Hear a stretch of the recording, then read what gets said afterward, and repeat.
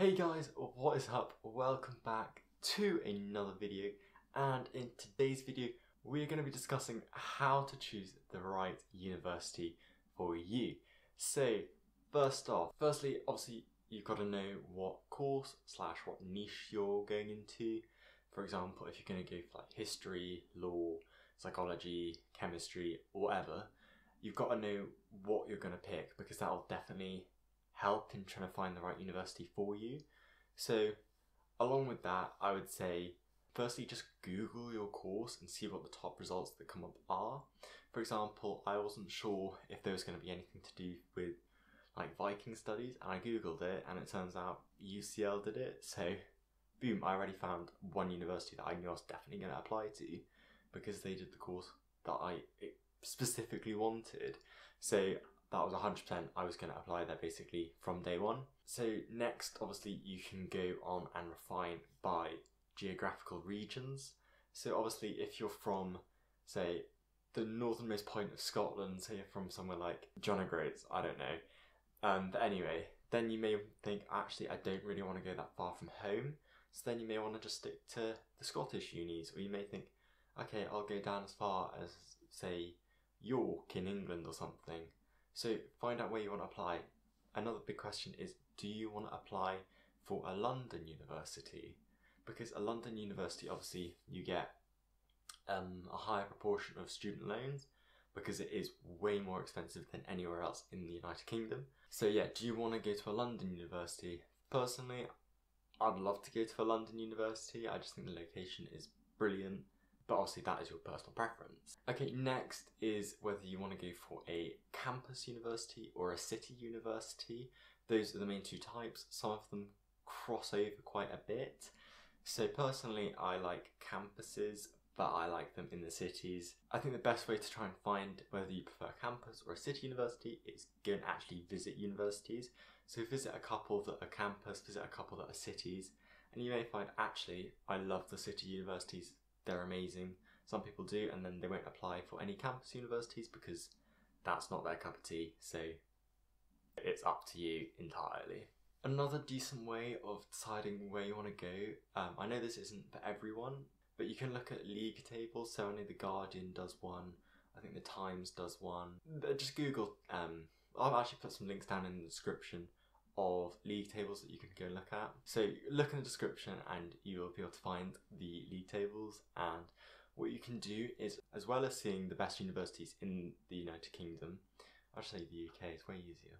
So as well as seeing the best universities in the UK, you can also refine it on many of them by course. So you just type in what course you're doing. So for example, I'll do history.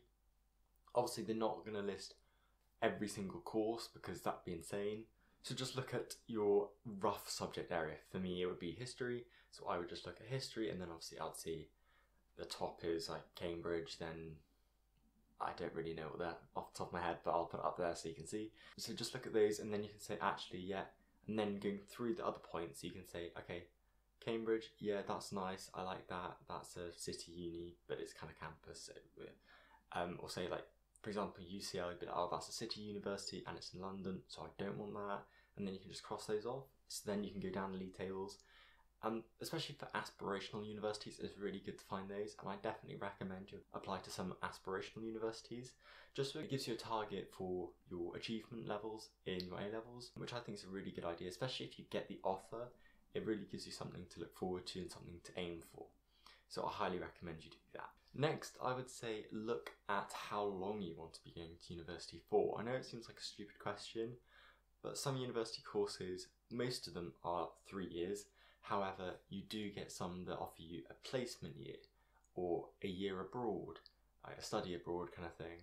So you may want to decide if you want to do that, if you want to be able to go out and get a placement, or if you want to study abroad.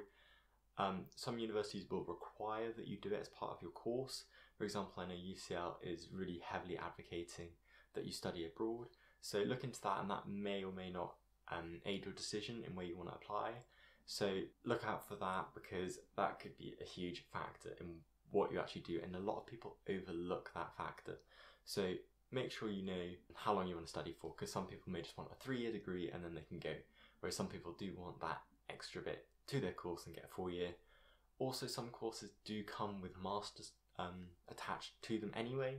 For example, you may sign up for a course and it will say MA, which means it's a master's course, although in Scotland it's naturally just called an MA anyway, which is a bachelor's, I think, still, but it will say MA. It's a bit confusing with Scotland, I'm not too sure myself, but I think their courses are naturally four years in Scotland anyway. So look into that as well, because that could influence your decision.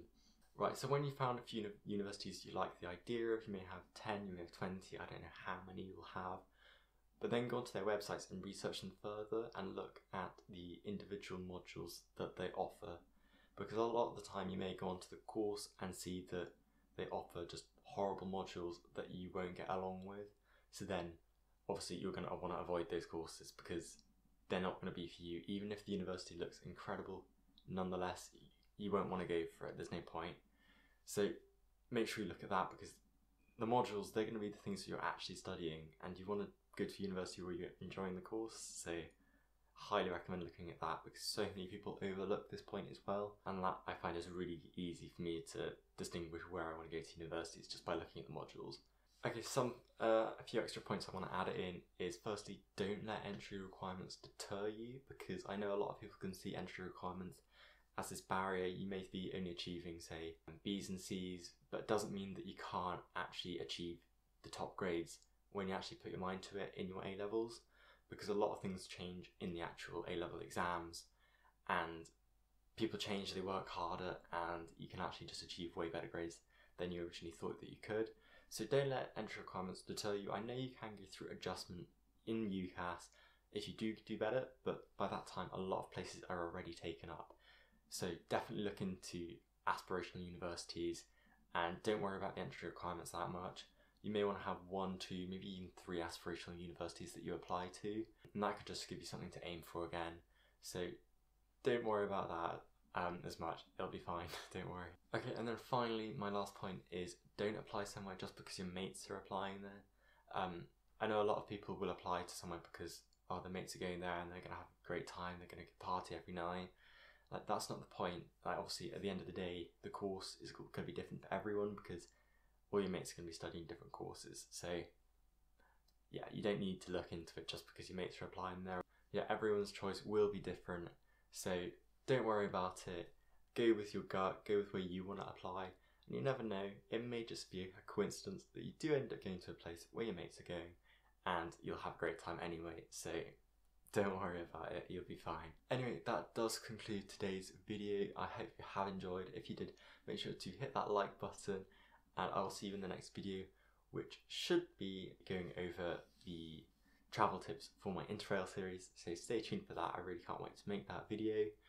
But thank you so much for watching and I'll see you in the next video. Goodbye.